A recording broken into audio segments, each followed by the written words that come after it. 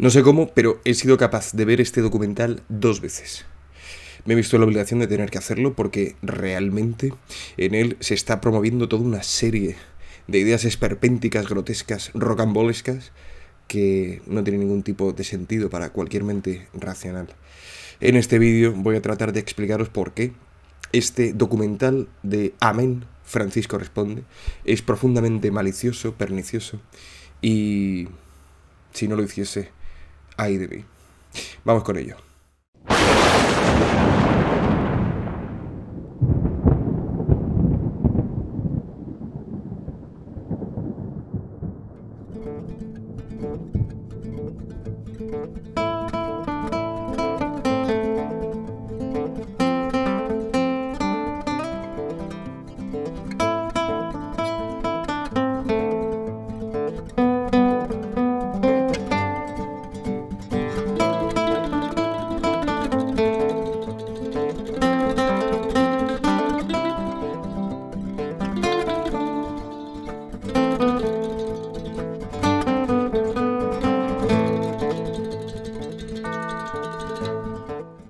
Buenas tardes hermanos y bienvenidos a este pequeñito y peregrino canal llamado César para Jesucristo.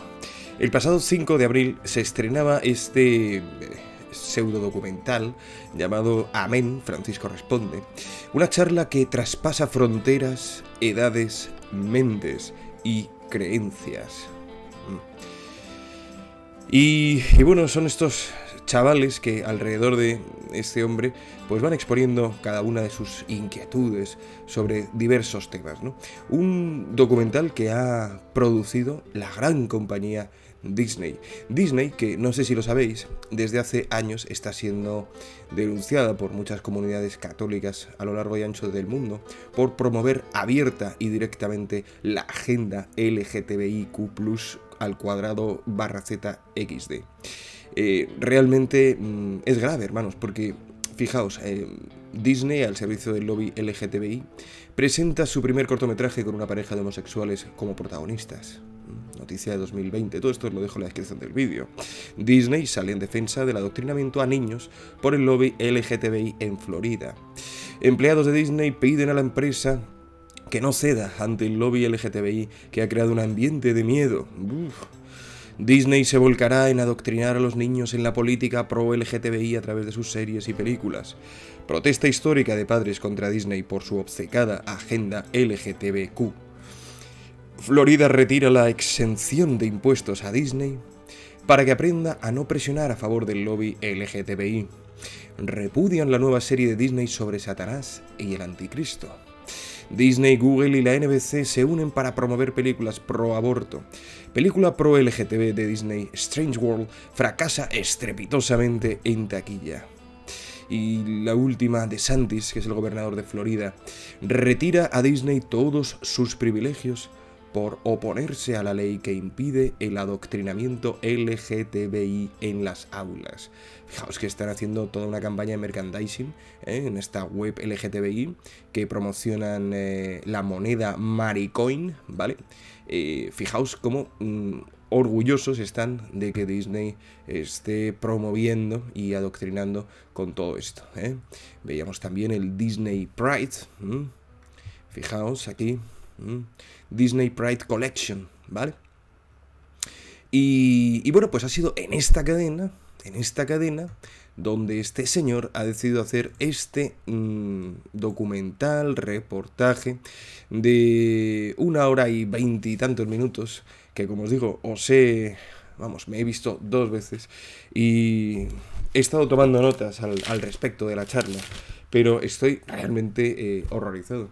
Y horrorizado por muchas razones que os voy a comentar en el vídeo. Deciros que no quiero con este vídeo promover el odio como siempre se acusa a las personas que nos atrevemos a, pensar y decir lo que pensamos con, libertad y con argumentos, mm, solamente basándome en el catecismo de la Iglesia. ¿no? Simplemente creo que precisamente recordar esto a los hombres de hoy, a los que lo tienen que enseñar y a los que lo tienen que aprender, es una gran obra de amor. Nada que ver con el odio. Fijaos lo que nos enseña la Iglesia después de dos mil años de experiencia de tratar con el hombre.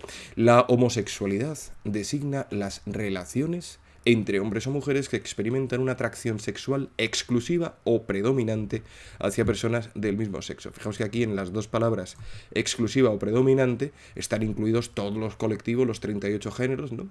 que hay ahora em, eh, en sí mismos. ¿no? Reviste formas muy variadas a través de los siglos y las culturas. Damos cuenta también que este tema no es un tema moderno, no es un tema nuevo. La homosexualidad y en, su exclusividad o predominancia ¿eh? ha estado desde muy antiguo, desde muy antiguo. Lo más nuevo, lo más moderno es el Evangelio, la propuesta de Cristo, que es la verdad del hombre, donde el ser humano se reconoce criatura del Creador. Pues bien, su origen psíquico permanece en gran medida inexplicado. De hecho, se ha demostrado que no hay ningún componente genético para ello. Apoyándose en la Sagrada Escritura, se los presenta como depravaciones graves, ¿vale? A los actos. La tradición ha declarado siempre que los actos homosexuales son intrínsecamente desordenados, es decir, en sí mismos, es decir, independientemente de la intención y de las circunstancias. Son contrarios a la ley natural, una ley natural que ya poco a poco, la masonería ya se ha encargado en estas últimas décadas de ir erradicando de todos los códigos civiles, códigos penales de todos los estados. ¿eh? La ley natural, que es la ley de la razón. Ahora nos eh, legislan con leyes acientíficas o anticientíficas, en unos casos o en otros, y eh, con leyes irracionales y arracionales. Leyes que se centran en el sentimentalismo, etc. Sigo, cierran el acto sexual al don de la vida no proceden de una verdadera complementariedad afectiva y sexual. No proceden de una verdadera complementariedad. ¿eh? No pueden recibir aprobación en ningún caso. Un número apreciable de hombres y mujeres presentan tendencias homosexuales profundamente arraigadas. Y este número apreciable de hombres y mujeres también hoy, lamentablemente, daos cuenta que el catecismo fue redactado tras muchos años de intenso y maravilloso trabajo de Juan Pablo II y Joseph Ratzinger en los años 90, pero hoy en día ya está apreciable, este apreciable número de hombres y mujeres hay que amplificarlo a un apreciable número de adolescentes y de niños que están siendo adoctrinados y engañados por falsos maestros, falsos doctores y falsos pastores. Esta inclinación objetivamente desordenada constituye para la mayoría de ellos una auténtica prueba. Deben ser acogidos con respeto, compasión y delicadeza. ¿eh? Aquí mm, se encuentran verdades, pero en ningún caso odio, por supuesto. Se evitará respecto a ellos todo signo de discriminación injusta, claro.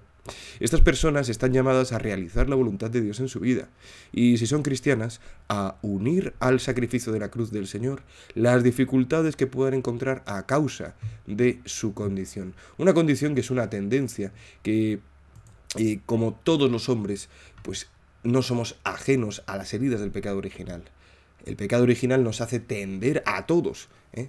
a la ignorancia, a la fragilidad y a la malicia pues esta es una tendencia. Hay del hombre si solamente se dejara guiar por sus tendencias. Las personas homosexuales están llamadas a la castidad mediante virtudes de dominio de sí mismo que eduquen la libertad interior y a veces mediante el apoyo de una amistad desinteresada, de la oración y la gracia sacramental, pueden y deben acercarse gradual y resueltamente a la perfección cristiana. Claro, como el que está casado y se siente atraído por su secretaria, ¿no? O como el abuelo que se siente atraído por su nieto, o como el hombre que se siente atraído por los animales o por los árboles, porque hoy hay quien se casa con los árboles también. Entonces, eh, como el ser humano tiende al mal, tiende al desorden, tiende a dar la espalda, al creador tiende a mm, pensarse más listo que el creador, por eso está la iglesia, para recordarle al hombre que él no es el que se da la ley a sí mismo, que hay una ley intrínseca ¿eh?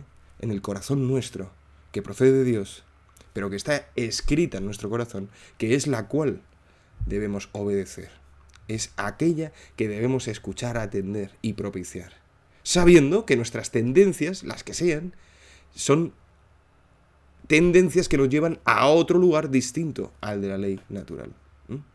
Bueno, pues en este documental llamado Amén, Francisco responde, yo estoy completamente espantado. Espantado porque, bueno, eh, en él se, muestran escenas explícitamente, explícitamente lésbicas, ¿eh? besos de dos chicas con lengua, escenas en una cama de dos chicas acariciándose, no es pornografía, pero es escenas eh, afectivas y, casi sexuales, ¿eh?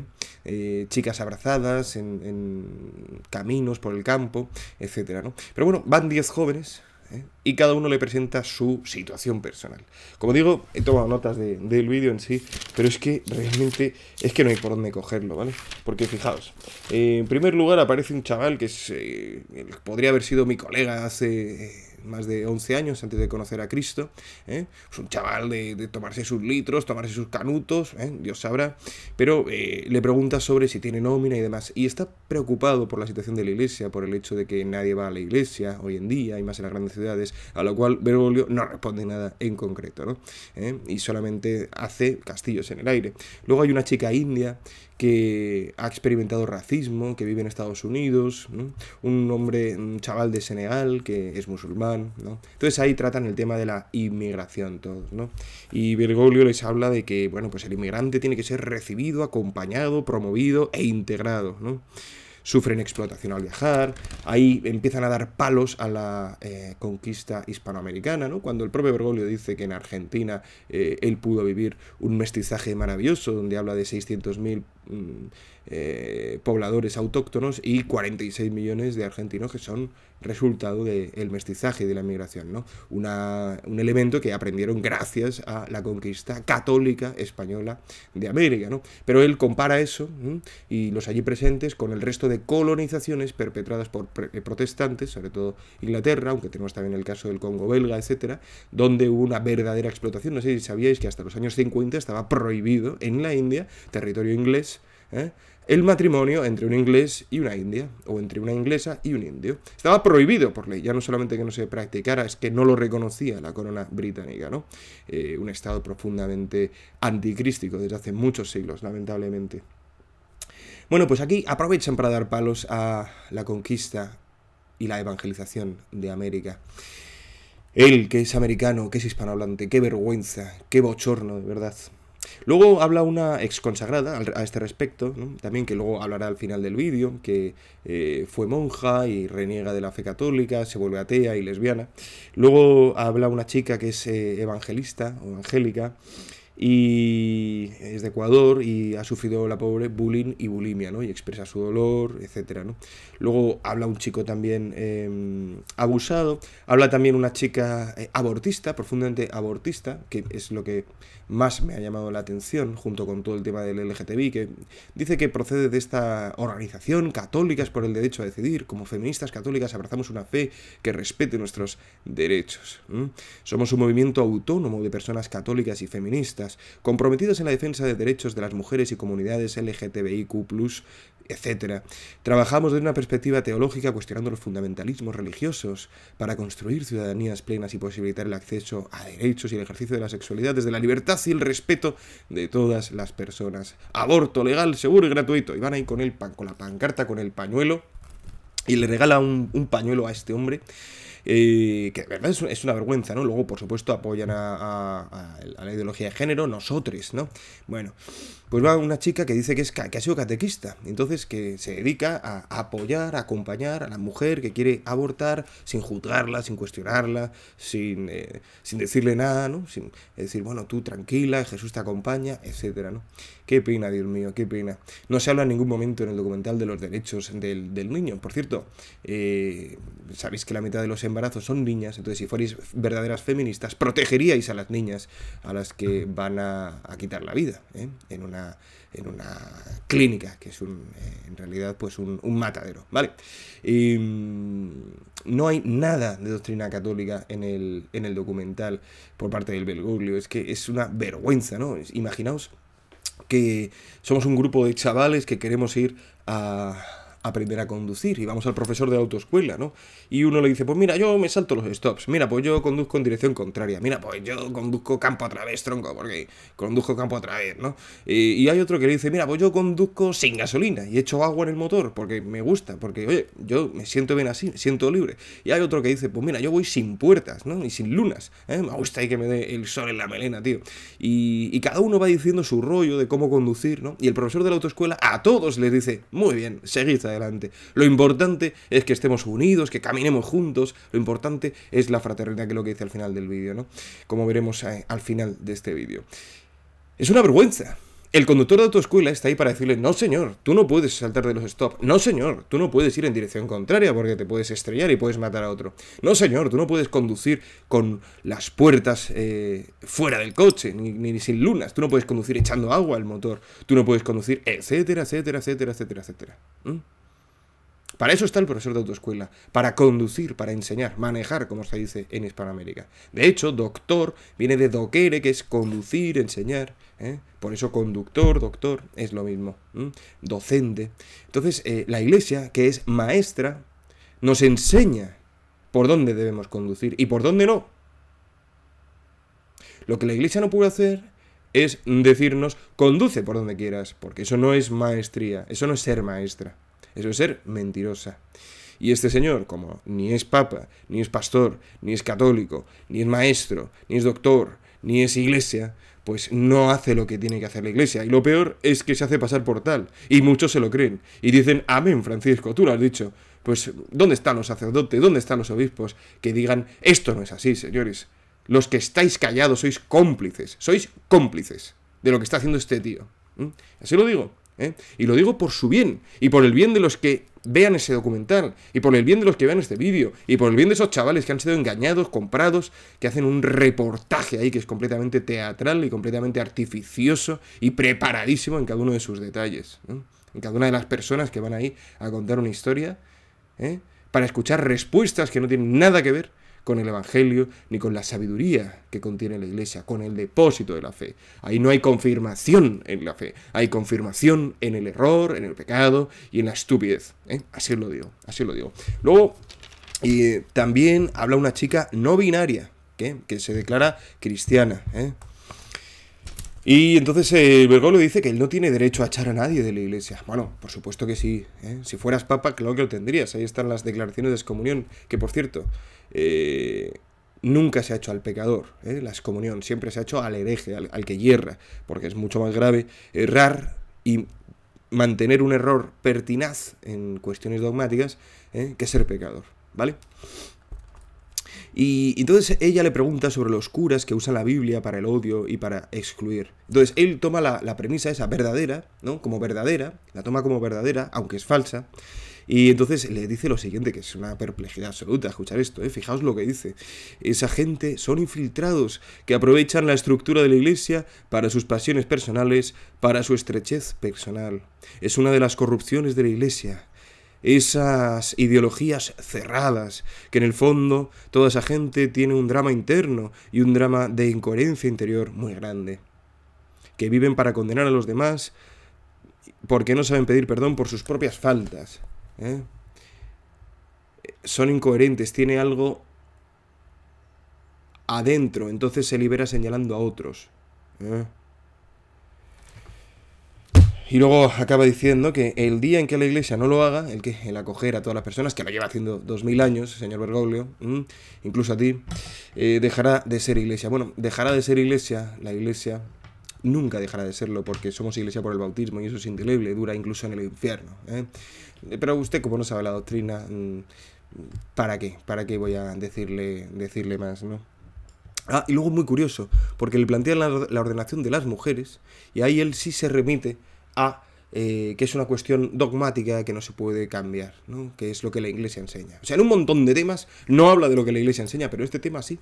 ¿eh? Y hace ahí una reflexión diciendo que la Iglesia es mujer, que no es la Iglesia, que es la Iglesia, que no es más el ministro por ser ministro, ¿eh? que es una posición machista el pensar que la Iglesia tiene que ser ordenada, como si eso le confiriese a la mujer más dignidad, ¿no? La Iglesia tiene una dignidad al conferir a la mujer la dignidad primera, tal y cual. Entonces, cuando le está explicando del hombre la mujer y la feminidad y la masculinidad. Tienes que ver las caras de los allí presentes, ¿no? Eh, sobre todo de la chica no binaria que no sabe si es hombre, si es mujer, no se reconoce, entonces, claro, no entiende qué le está hablando, ¿no? Incluso ponen caras todos como de diciendo, ¿qué está, qué está diciendo, ¿no?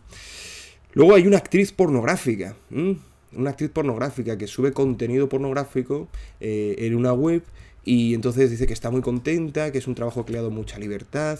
Y entonces ahí sale el tema de la masturbación, de la pornografía. Y es tremendo, ¿no? Porque lo que dice Bergoglio es que es muy importante la, comunicación. También le preguntan sobre Tinder, esta aplicación para tener rollos sexuales con unos y con otros, ¿no? Dice, me parece bien, me parece normal. Es decir, en ningún momento hay ninguna orientación por su parte eh, católica, en ningún momento. ¿eh? Habla también una chica neocatecumenal que da testimonio de fe y, él la, machaca, ¿no? La, remite a, a, lo que le dice Pedro lo que le dice Jesús a Pedro en las predicciones de Jesús, cuidado, que Satanás ha pedido que te zarandee, tal y cual, o sea, a la única a la que le recrimina algo es a, esa chica. Y, bueno, pues acaba hablando esta ex monja que apóstata, que reniega de la fe católica, sale de la congregación porque sufría abusos psicológicos, etcétera, y ha encontrado la libertad y, el amor en una relación lésbica y, atea, ¿no?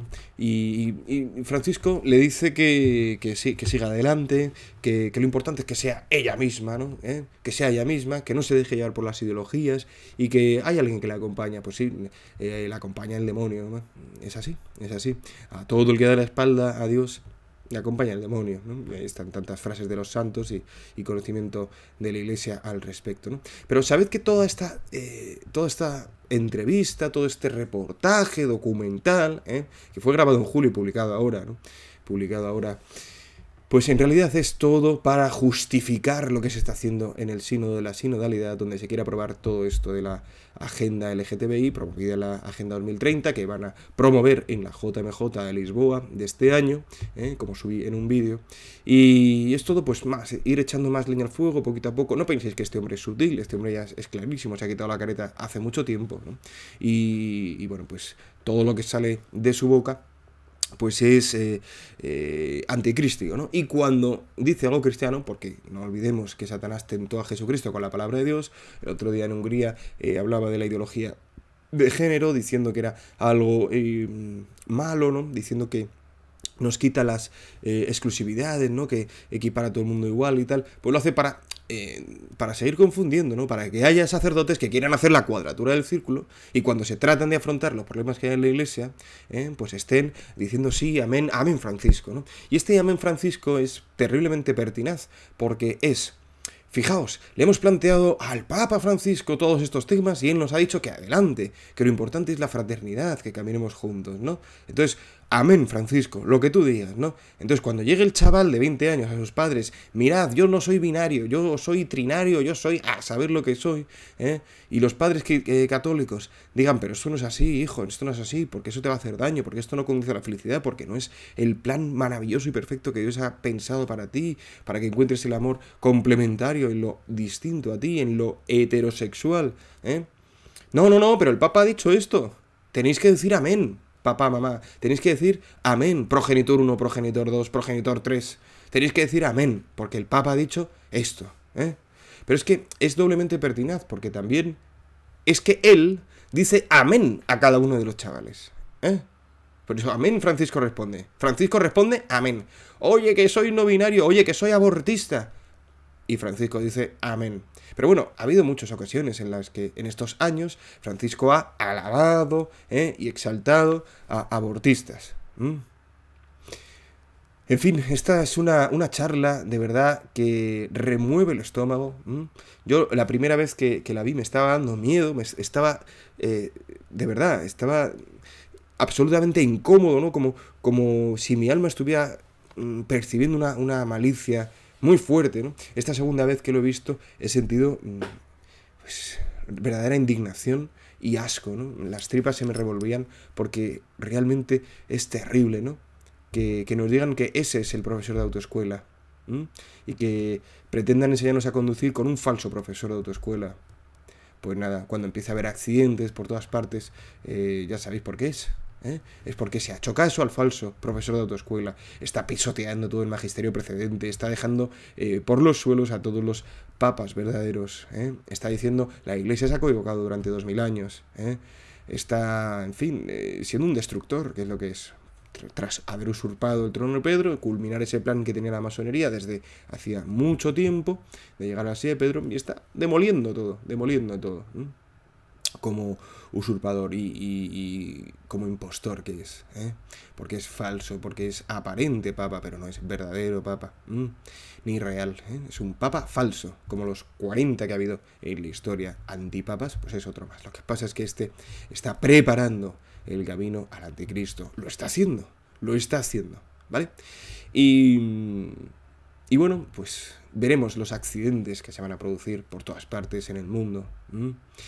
Habría un montón de, temas más, pero quisiera concluir el vídeo diciendo lo que dice él al final del vídeo, que es siempre lo más importante. Sabed que en una conversación o en cualquier momento, lo que se dice al final suele ser lo más importante y lo central, porque se atreve a decir, bueno, os quiero dar un aviso comercial.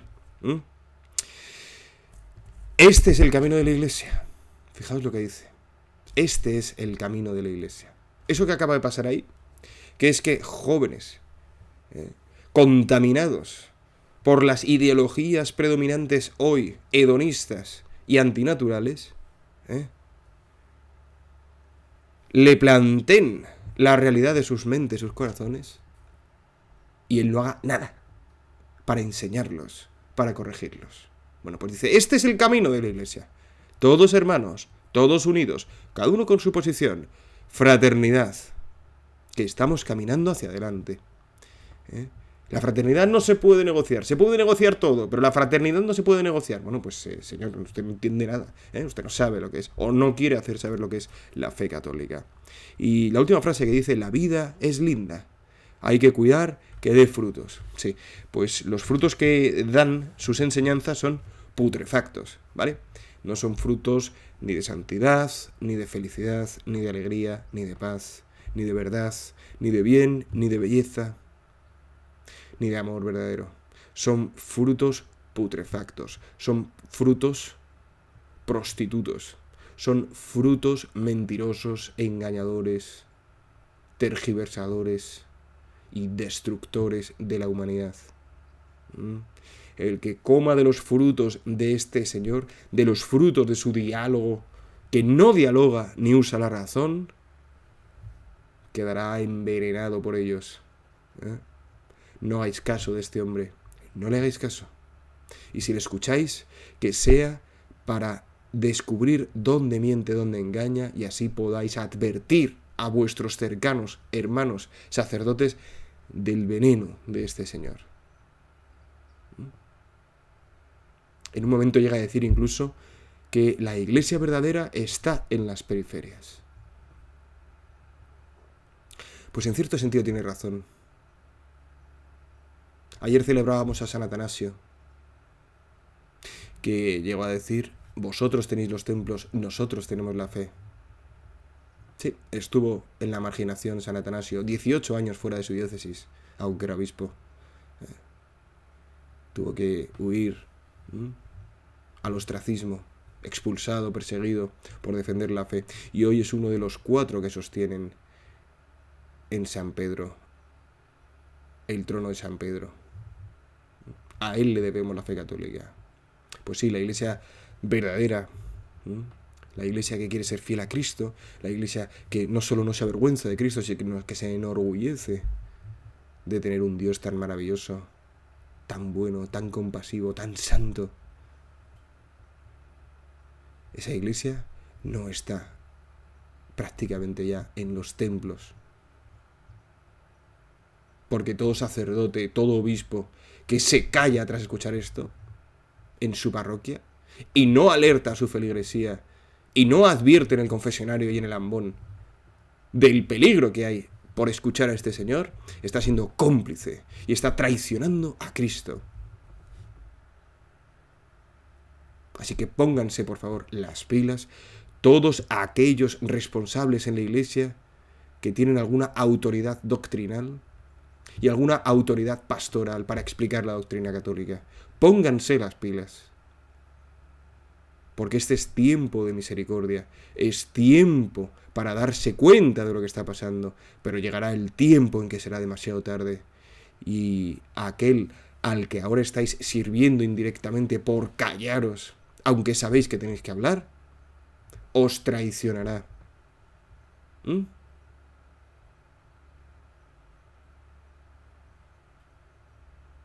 Es verdaderamente vergonzoso y repugnante esto que ha pasado en Disney,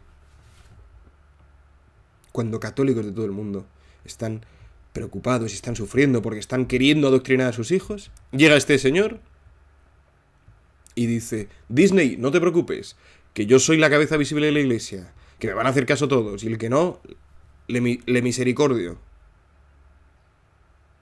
Yo voy a avalar lo que estás haciendo, voy a avalar lo que estás enseñando. Eso es lo que está pasando. Al que no le parezca abominable, pues que se lo haga mirar. Siento mucho, ¿eh? Traeros este vídeo. Ya me gustaría a mí no tener que hacer esto. Pero sufro si no lo hago. Porque mi conciencia me acusa. Porque mi corazón busca la verdad. Y mi mente busca el bien. El mío y el de mis semejantes, los hombres.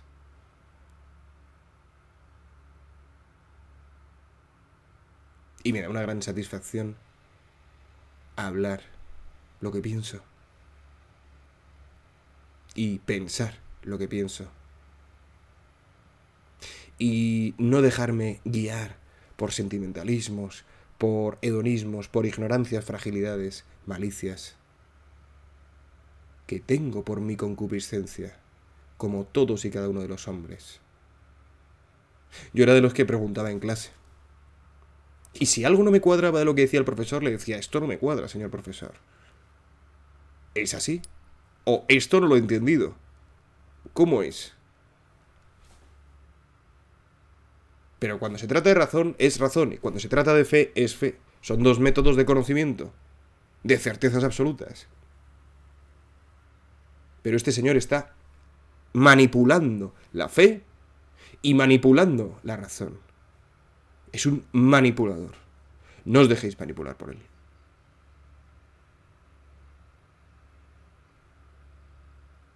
Pues mucho ánimo, hermanos, en este combate cristiano que nos ha tocado vivir.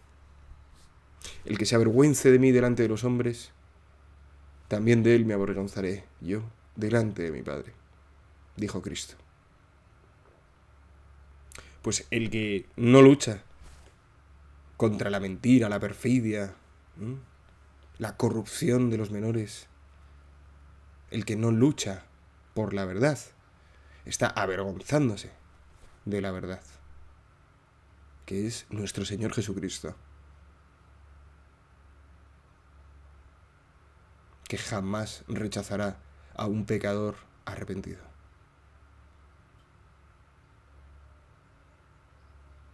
pero sí rechazará a un pecador obstinado y no arrepentido. Señor, Señor, muchos le dirán, y él les dirá, apartaos de mí, obradores de iniquidad, no os conozco. ¿Cómo explica usted esa frase, señor Bergoglio? ¿Esos quiénes son, según usted? Los que defienden la doctrina católica, ¿no? los que usted llama infiltrados, los que usted llama desordenados, con traumas que acusan a los demás. De verdad, qué insoportable esta entrevista, qué indignante. Es que hasta le falta categoría humana. Que es lo único que se argumenta en el vídeo, ¿no? Humanamente, tienes que encontrar humanamente las raíces. Esto deshumaniza, esto humaniza, bla, bla, bla, bla, bla, bla, bla. Madre mía, qué sarta de tonterías. Uf, mucho ánimo, hermanos, de verdad, mucho ánimo. Menuda guerra en la que estamos. Santo Rosario, sacramentos con frecuencia, cada día su afán y todos para bien para los que aman a Dios. Espero que este vídeo ayude a alguien a ver y a hablar. Porque si no hablamos, ¿para qué es nuestra fe? Si no actuamos. En fin, hasta el próximo vídeo, hermanos. Dios os bendiga, la Virgen os guarde en este día. San José os abastezca de todo lo que necesitáis para agradar al Señor. Santiago Apóstol os dé su valor y el cielo entero supla en vuestras almas lo que a este vídeo le falta. Amén.